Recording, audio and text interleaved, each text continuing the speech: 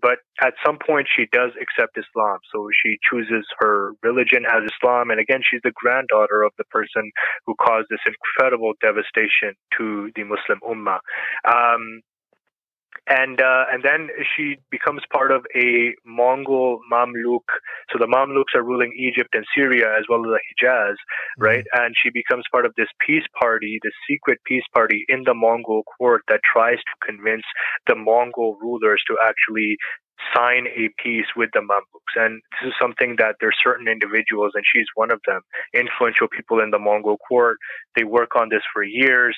They um, finally achieve it in the year 13 23, the Mongols and the Mamluk sign a treaty, and that same year she goes for Hajj, as if she was working on this thing because of her desire to go to Hajj, because the hmm. Hajj region, uh, the Hijaz, was under Mamluk control. So now there's a peace. All the people in the Mongols who are, you know, converting to Islam are finally easily able to go.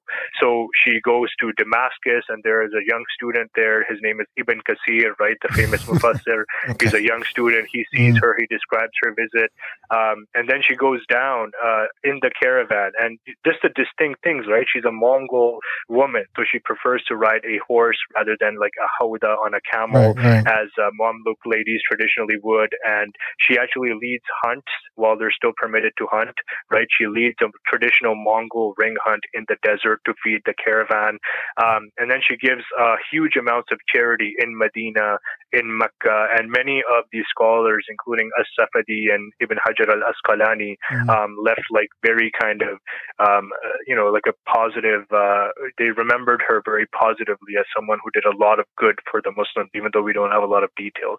So I think that kind of story really sheds light on, on the one hand, you know, the grandfather was the person who caused the fall of Baghdad, um, and this is the granddaughter, right? And the